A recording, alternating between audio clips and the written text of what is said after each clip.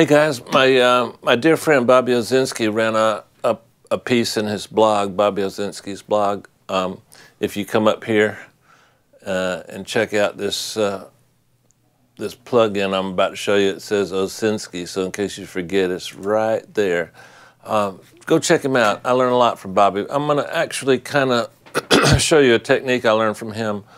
Uh, it's called the um, the Abbey Road reverb trick, and um, it's actually kind of cool. We actually all kind of do it from time to time, but we've never named it and we've never done it like they do. And I think it's important to know uh, this technique that Bobby showed because it, if you understand it and know it, you can you can expand on it, and uh, that's kind of what I've done a little bit here. So let's start out. Um, I've got a Jill Scott record. I'm, i chose it. I know I've, I know I've used it for illustrations a few times, but good Lord, what a great singer! And I, I mean, I just wanted you to hear her vocals. Um, now here's a vocal with essentially uh, just a compressor on it. What I like a book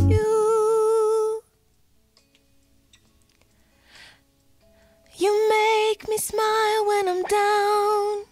For the purposes right this second of illustrating, I'm just gonna I'm just gonna loop this little section here so we won't have to wait too long in between sections. Now what I've done is I've set up a um, uh, I originally printed this track with a Bricasti, but I wanted to show you this technique on a on a less expensive reverb.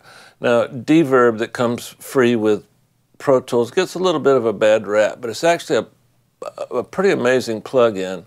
So let's listen to um, Jill with a little bit of D-Verb on her. What I like about you, what I like about you. That's pretty good. Now, now my ear, uh, based on what Bobby told me, was drawn by a couple of things. Now, what they do in um, in England, and what a lot of mixers do, is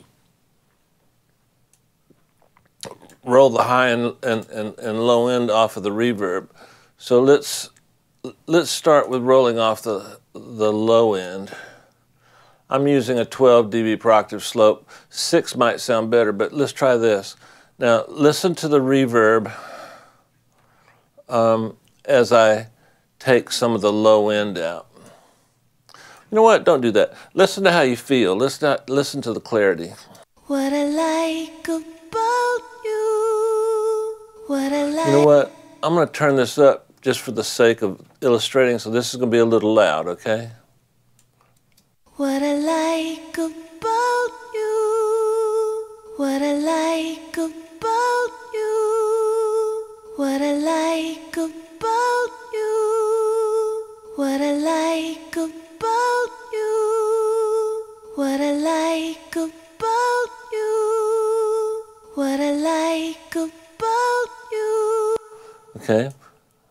think that's kind of cool. I ended up liking somewhere around 600.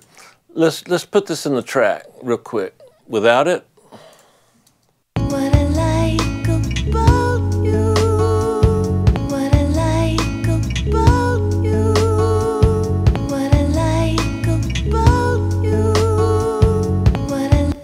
Okay, I turned it up a little bit. Now let's try it with it.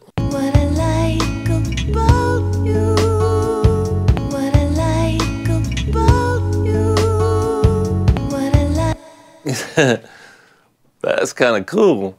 Now, if that sounded a little bit subtle to you, don't don't don't be upset. It just means that you haven't done this enough to hear um, certain things. And I'm not trying to be condescending, but the more you do this, the more some of these subtle elements sound big to you.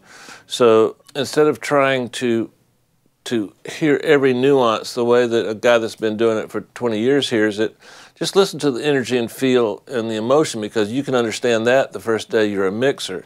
So um, um, let me give you this illustration one more time. Without.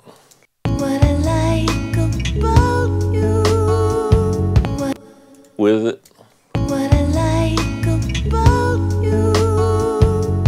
Okay, now what I'm hearing is I'm hearing the same width that made her vocal sound bigger, but with that everything below 600 rolled out, it felt like she was a little closer to me and it felt a little more intimate and it felt like I was hearing the nuances of her uh, energy and her vibe.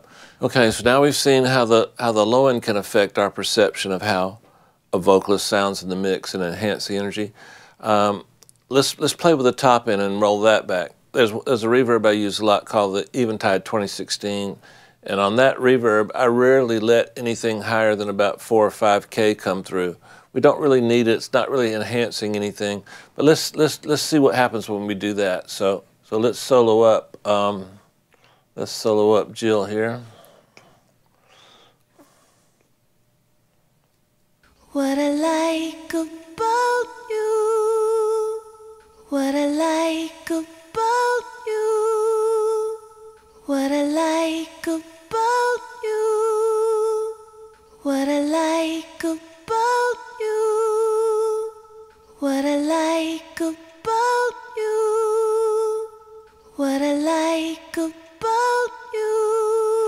Okay, you can see what's happening. Now let's try it in the mix, the same exact thing. Let's start with, I like it right here, solo, but let's see what we're doing in the mix. So let's start full, full.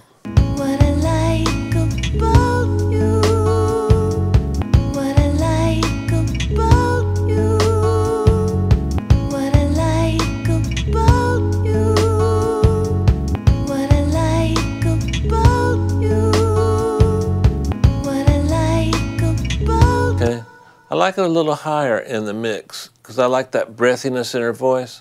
So what I would probably do is during the verses, I'd probably leave it a little bit higher to get a little emphasis on those breathy. Um, uh, I don't know how, how to describe it. That texture in her voice is enhanced with a little bit, but probably in the choruses it's not. So we might auto automate that. Let's let's solo it and see what we ended up with. What I like about you. Without? What I like about you. So now I'm going to take it a step further. Let's see what happens. Now remember, we're using a free reverb. Now Bobby uh, showed showed us on his website that you can take a little bit of the mid range out and, and actually enhance it. Watch this. What I like. What I like about you. What I like. Okay, so I took out a little bit at 1.2K and, and watch. What I like about you. Let me add it all back. What I like about you. You see, it, it, it brings out some elements I don't like. Let's try it in the mix. I'm going to exaggerate it. What I like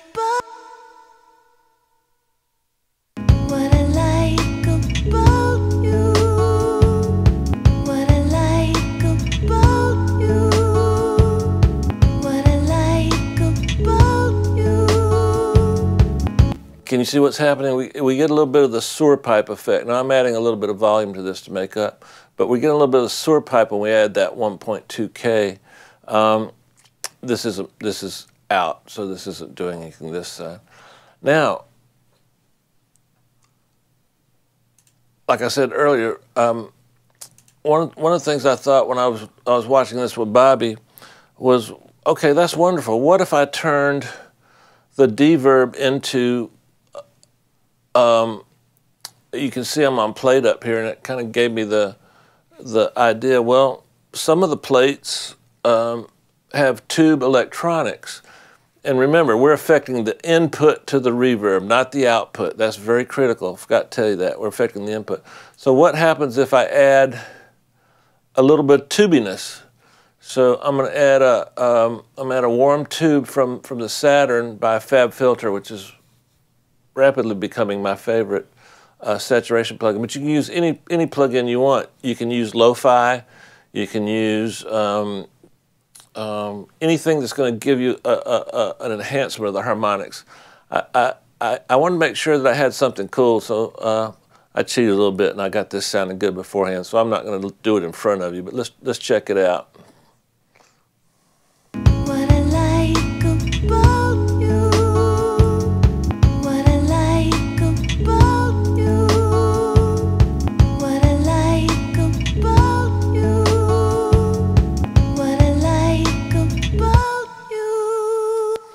Here again, it's a little bit subtle, but if you focus and concentrate on what the reverb makes you feel, what I'm doing is I'm I'm taking the reverb, and I don't like the word distortion, as you know, and and, and saturation. That word confuses me. Um, it, I keep thinking of uh, in California when we have these fires, and then the rains come and the mud's the mud-filled hills get saturated with water, and I know that's a bad metaphor, but can't help it. Uh, check this out. With it. What I like about you. Uh, without it. What I like about you. With it. What I like about you. What I like. Sweet, huh? It's subtle. I ain't gonna lie to you. It's subtle, but it's kind of cool. Now, we can also put, um, I'm using a pre-delay of about 55 milliseconds. We, we, we can do a lot of stuff. We can do the high and low cut within the plugin itself. Um, there's a lot of different things we can do. The diffusion I've got set where I like it. Okay, I'm gonna show you something real quick before we go. I'm gonna show you just um, just the reverb. I'm on pre on my send, and this is what the reverb sounds like.